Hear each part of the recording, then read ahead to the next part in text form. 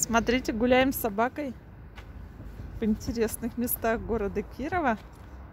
Хочу вам показать. Прикольно сделана площадка. Как мне нравится, когда так э, рационально, экономно и круто используется место. Вот видите, домик элитный построен.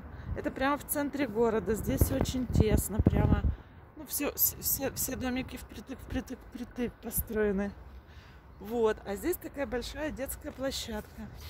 И травка растет, и всякие эти качельки, карусельки сделаны.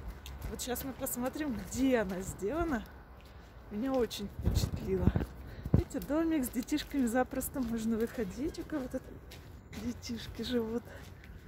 Сейчас мы дойдем до края. Видите, она как хорошая. То есть и новенькое все, и огорожено так хорошо, что детишки никуда не свалятся, не вылетят. Вот, и мы выходим.